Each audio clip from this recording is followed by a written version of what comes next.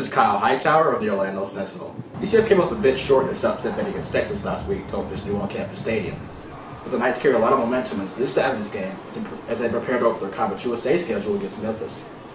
UCF coach George O'Leary is 2-0 against Tommy West's Tigers, this time here at UCF, but faces a much different Tiger squad than the one he beat last season. Yes, Memphis is without star running back DeAngelo Williams, who has gone on to the NFL, but the Tigers still have the same helter-skelter, unpredictable offense has given many teams trouble, and nearly earned them an upset against All Mississippi to open the season. The big story this week is the Knights' own backyard.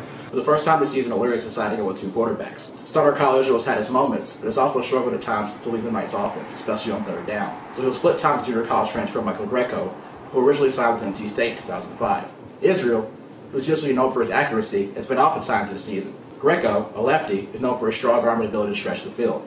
He doesn't know when Greco will get into the, get into the game, O'Leary said. Both, both quarterbacks will definitely play.